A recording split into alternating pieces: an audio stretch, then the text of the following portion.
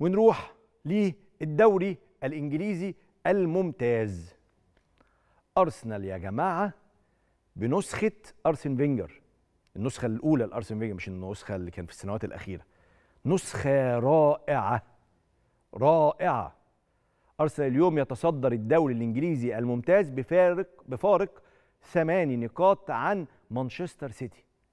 ثمان نقاط كاملة بينه وبين مانشستر سيتي.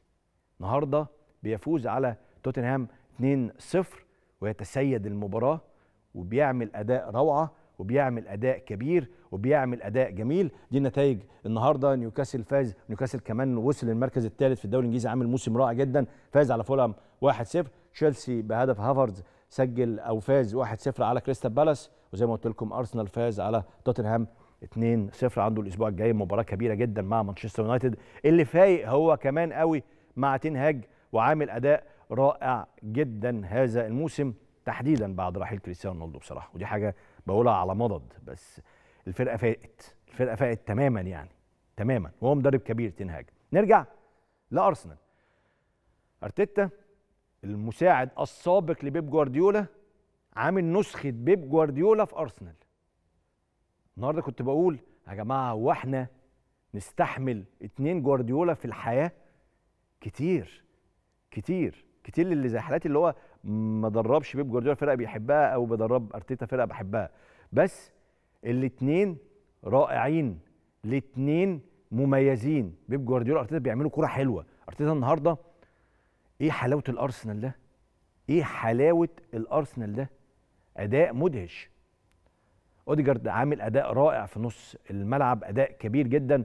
جيسوس النهارده كان غايب بسبب الإصابة اللي موجودة بقالها فترة معاه. ساكا على اليمين رائع مارتينيلي على الشمال رائع. زينتشينكو اللاعب الهدية اللي خدها أرسنال من مانشستر سيتي.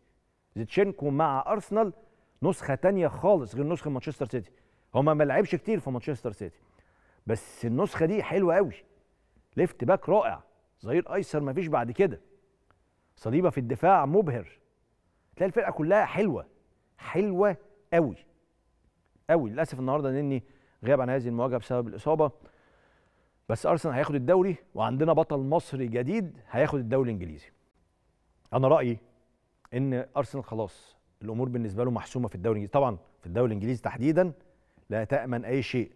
بس أرسنال واقف على رجله حتى مع الغيابات الفرقة حلوة الفرقه كبيرة. فتحس إن أرسنال لا صعب يهدر نقاط بسهولة.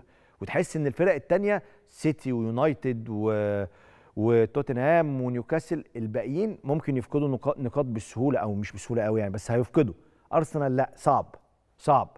النهارده جاري لينيكر بالمناسبة كتب على تويتر بعد المباراه جاري لينيكر واحد من أساطير الكرة الإنجليزية والإعلامي الكبير في إنجلترا كتب على تويتر بعد المباراة ان أرسنال هياخد الدوري الإنجليزي خلاص. بعد هذه المواجهة تحديدا. دي مواجهة صعبة جدا. كسبها النهارده أرسنال قدام فرقة دفاعية جدا. أنطونيو كونتي عامل فرقة دفاعية لتوتنهام وبصراحة أنا ما بفهمش ليه أنطونيو كونتي يلعب فرقة دفاعية أو يلعب بطريقة دفاعية مع توتنهام وعنده قدام هاري كين وعنده سون وعنده ريتشاردسون وعنده أسماء حلوة قوي قدام. تلعب يا عم كرة هجومية. بس هي التفكير الإيطالي. أنا بحترم أنطونيو كونتي بصراحة بشوف المدربين الكبار طبعا. بس قافل توتنهام خالص قافل. قافل على هاري كين وقافل على سون وقافل على ريتشاردسون اللي كان مقعده على الدكة النهارده. أرسنال هياخد الدوري. وبصراحة لو في بقى مشجعين أو الناس اللي بتحب أرسنال بيتفرجوا عليا دلوقتي أنتوا عانيتوا أنتوا عانيتوا. جماهير أرسنال دول عانوا.